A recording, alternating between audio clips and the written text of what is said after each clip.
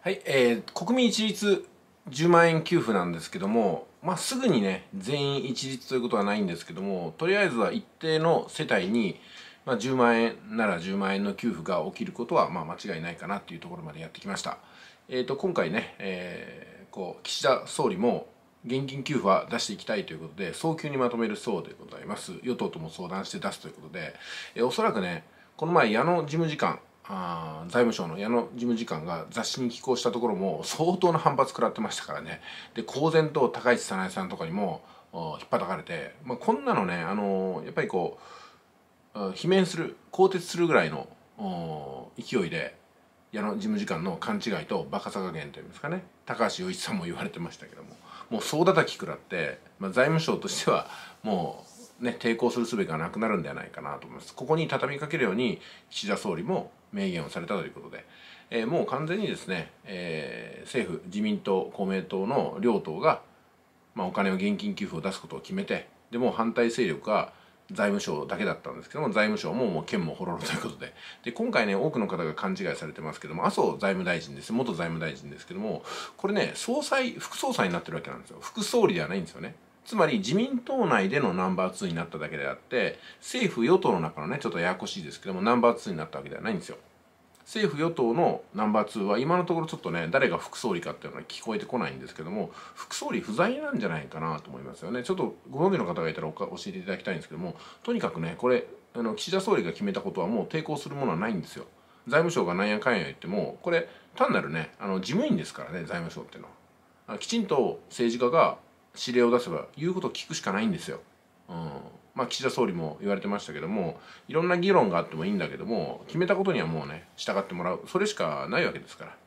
で今回の現金給付は範囲が決まっていてもね、えー、もしかしたら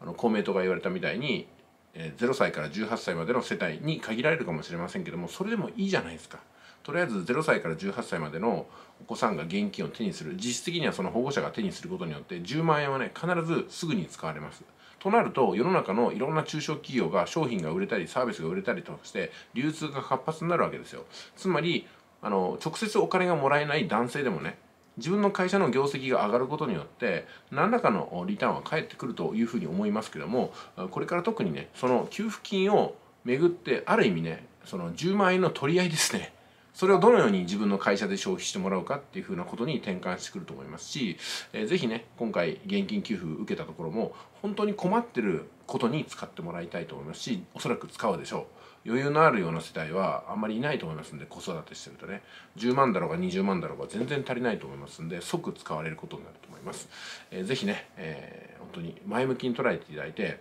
あの国民一律給付じゃなかったら何やってんだじゃなくてね、えー、はっきり言ってその国民一律給付じゃなくてもいいよっていう方もいらっしゃるんですよ。まあ、本当にはばかりながらうちは10万円いりませんからって話ですからね。まあ、ですんでね何らかの形で、えー、すぐに使うことによって社会に還元しようと我が家では思っておりますけどもねうちも1歳の子がいますんでね、まあ、でもあれじゃないですか今年中にこれは執行されるんじゃないかなと思います。本当に岸田さんのスピード感っていうのはすごいなと思います。あの金融所得課税の話で叩かれてましたけどもはっきり言ってね投資で稼いだ人の税金を上げたところで逆なんですよ。あの投資で稼いだ人の税金を取り上げてそれで終わりなわけですよ。で考えてることは逆。所得の低い人を上げないといけないのに所得の高い人を下げることしてもしょうがないでしょ。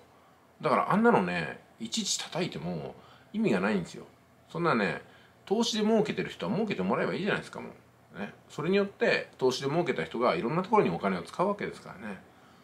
うん。まあ、ちょっとだからね叩き安いところを叩いてるのは分かると思うんですけども